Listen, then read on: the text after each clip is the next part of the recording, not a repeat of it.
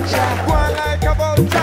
at me see jump Total destruction, that's all.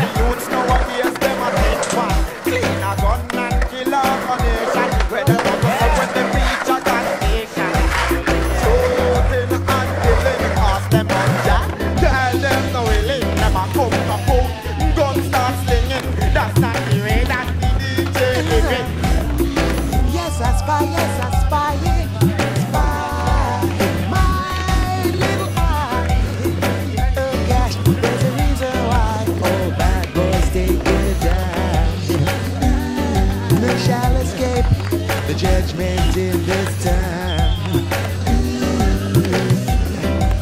Look here, them got it popping, gun in a pocket, big gun business, my ass won't stop it. Like a rocket. Them, big gun shot it. With I'm gonna deal with that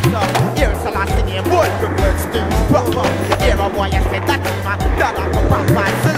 that show, who in the pop.